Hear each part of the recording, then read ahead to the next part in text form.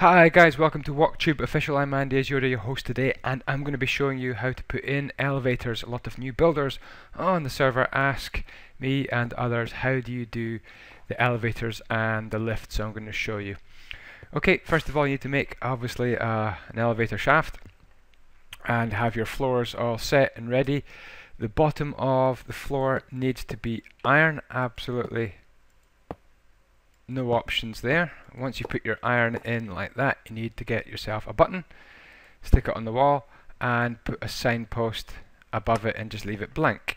Next you get some glass and put the glass at the floor level that you're going to, like that.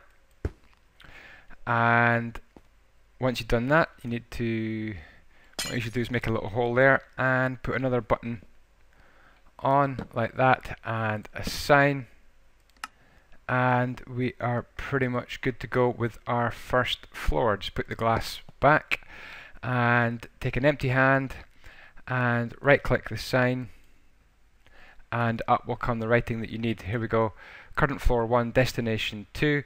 So if I click that it should take us up to this floor here and I can hit that button, hit that sign there in fact, I'm just going to move this sign across to here so it's in the middle.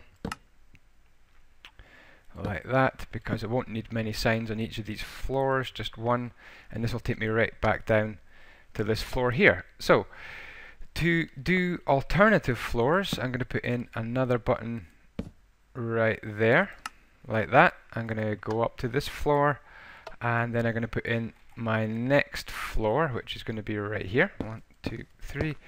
One, two, three,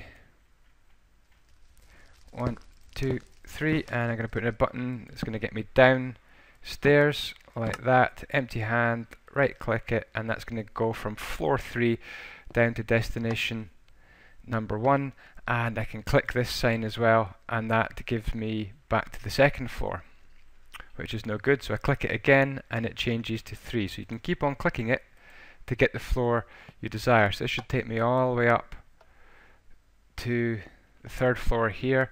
So just one more floor to put in. So once again, it's a simple question of putting in the glass floor, going up two blocks to put your button, right above it is a sign, so it's really important. Um, open hand, right click it, and that brings us right down to floor one. And I'm going to put in this button here. So what's cool about this is I can walk into my apartment complex here and I can choose which floor to go to and I can even put a sign above here showing whose apartment this is. This is my apartment on the top floor and this will take me right up to the top floor. There we go. And so that is how elevators work.